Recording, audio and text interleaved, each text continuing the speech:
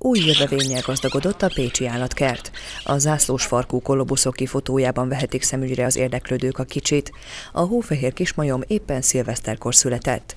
A szülők még 2017-ben érkeztek a Baranyai megye székhelyre, azóta ez az apróság az ötödik kölyök. Itt egy, egy szülőpárunk van, a Madam és a Géza, és az ő leszármazottai élnek még itt, tehát az ő kölykei.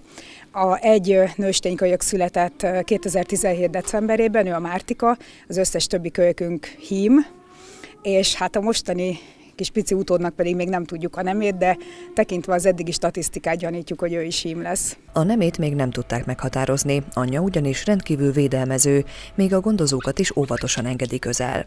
Ez ott jártunkkor is tetten érhető volt, hiszen csak egy-egy pillanatra bukkant elő a pici. Három hónapos koráig még fehér marad a kölyök, gyermekkorát pedig végig kíséri a csapat többi tagja is. Főleg a nagyobb nőstények szoktak, beszoktak segíteni a, a picinek a nevelésében.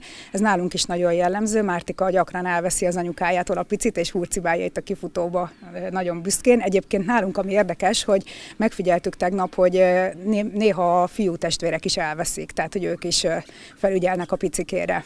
A legújabb kismajomnak már neve is van. Gondozói úgy döntöttek, hogy amennyiben hím lesz, akkor a szilveszter, ha pedig nőstény lesz, akkor a fruzsina nevet kapja.